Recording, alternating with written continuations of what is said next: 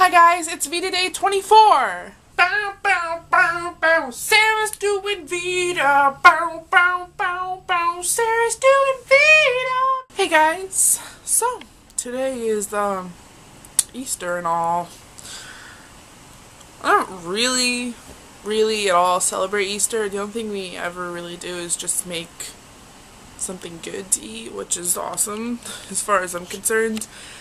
Uh, this year my mom made ham and mashed potatoes and corn and some other vegetables that I didn't eat. but that was really all we did. Just kind of a chill day. We haven't really celebrated Easter at all ever.